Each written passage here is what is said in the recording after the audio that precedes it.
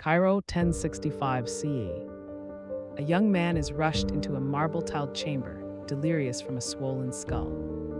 His only hope, a surgeon with a golden tube, ice, and secrets no one else dared touch. In the golden age of Fatimid medicine, a Shia physician pierced the skull to drain trapped fluid. He used gold tubes for their purity, ice to reduce inflammation, and silk thread to close the wound without infection. No one else on earth dared go this deep. His surgical theater was likely the Bimaristan of Al Aziz, where music soothed patients and anatomy was taught beside philosophy. He may have studied Greek texts, but rewrote them with precision.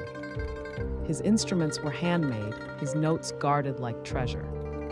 His work vanished until 800 years later, when a stunned French historian found a forgotten manuscript in a Paris library.